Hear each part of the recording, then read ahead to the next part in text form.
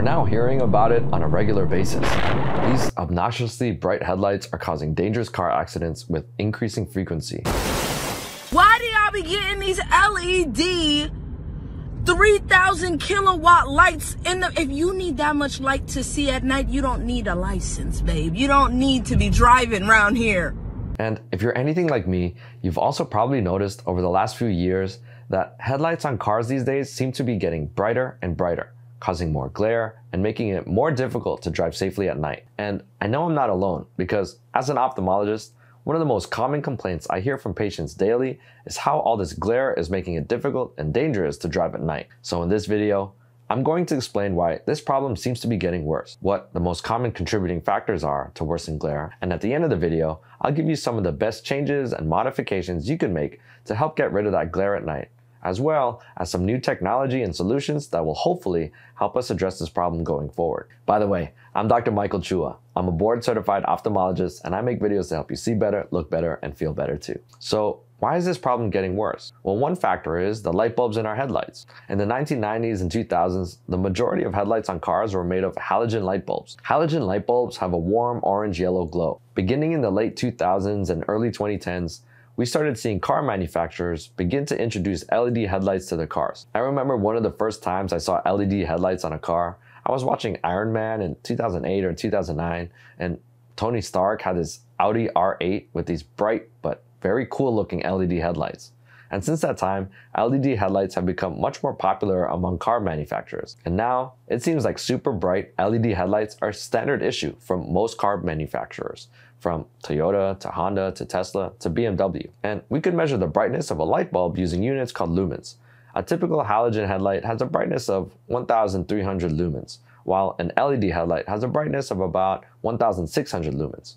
More recently, luxury car brands like BMW and Lexus are introducing even brighter headlights called high intensity discharge or HID headlights, which can also be called xenon headlights and they have a typical brightness of 3000 lumens. Couple that with the fact that our eyes, our retinas, are naturally more sensitive to the white bluish hue found in LED or xenon lights compared to the warm orange-yellow glow from halogen lights and incandescent lights. And so, even if light output remained the same, these blue lights cause us more glare and sensitivity to light compared to yellow lights. And it gets even better.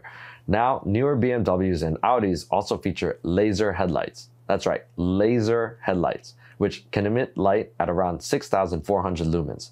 That is four times the brightness of the typical halogen headlights from not so long ago. It seems like luxury car manufacturers are in an arms race to put out the brightest possible headlights onto the cars and are marketing these super bright lights as a feature.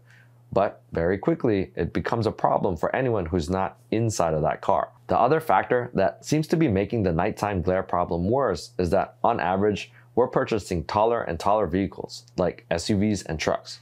A report from JD Power found that in 2010, about 53% of vehicles sold in the US were trucks or SUVs. But reports from 2023 now show that more than 79% of car sales are trucks or SUVs.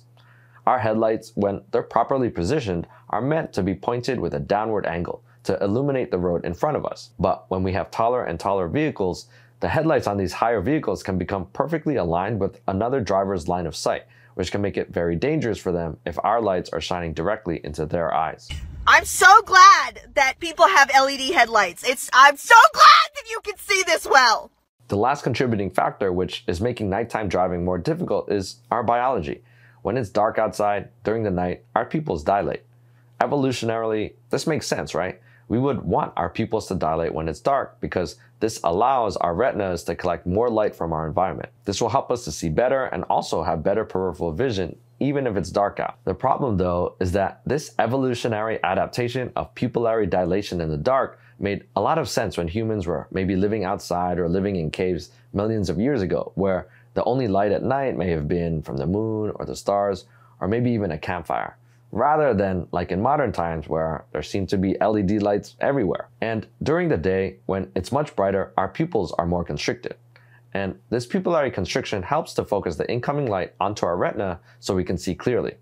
The issue we run into with pupillary dilation is that when our pupils are dilated, this allows a lot of unfocused, scattered light to enter our eyes as well. And so when we have bright headlights shining into our eyes from all different angles, then we can have a flurry of scattered light bouncing all around our eyes, causing significant glare. So we see that brighter headlights, taller vehicles, and our biology are all contributing to this growing problem. Many drivers have petitioned lawmakers, Congress, and the Department of Transportation to look into this issue and to start regulating car manufacturers so they stop making cars with headlights that are so dangerously bright.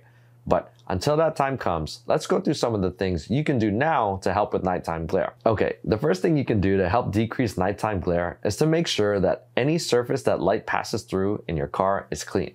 So that means cleaning your headlight housing for the sake of other drivers, cleaning your windshield, your mirrors, and your glasses if you wear them while driving. Like we mentioned before, light scatter is our enemy. So if there's dirt, smudges, bug guts, anything like that on your windshield, your windows, mirrors, or glasses, that will increase the scatter of light reaching your eyes and worsen the glare. Okay, before we go into the next solution for nighttime glare, I wanted to tell you about my Optim-Eyes newsletter. If you want science-backed tips on how to protect your vision and health delivered straight to your inbox, you can sign up for my Optim-Eyes newsletter at michaelchuamd.com. The next tip I have for nighttime driving is to look just slightly down and to the right if there's a car with bright headlights coming towards you.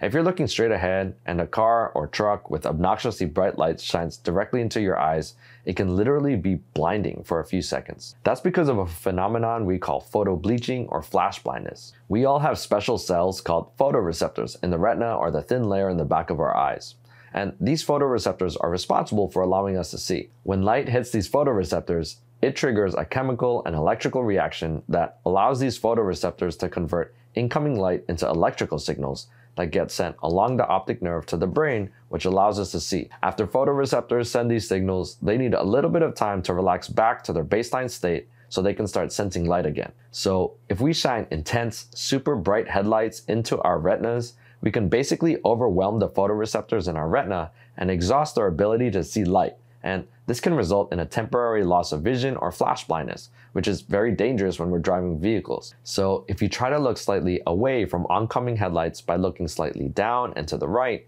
you can decrease the amount of light photons coming into your eyes and overwhelming your retina and help prevent those dangerous episodes of flash blindness from occurring. Another useful tip along this same line of thinking is to drive more on the right hand lanes while you're driving on multi lane roads and highways. Basically, if you're further away from oncoming traffic, this will help to decrease the amount of straight on light coming into your eyes and will help to decrease the glare symptoms at night. The next tip to help decrease nighttime glare is to get your eyes checked. On a daily basis, I have patients mention to me that their nighttime driving has become more difficult because of glare. And after a quick eye examination, lo and behold, they have certain eye conditions like nearsightedness or myopia, astigmatism, or cataracts that are significantly contributing to their glare symptoms. And after being checked for a proper pair of glasses or maybe after cataract surgery, their glare symptoms are greatly improved. The last solution I'll mention for improving nighttime glare is the development of a newer technology called adaptive headlights.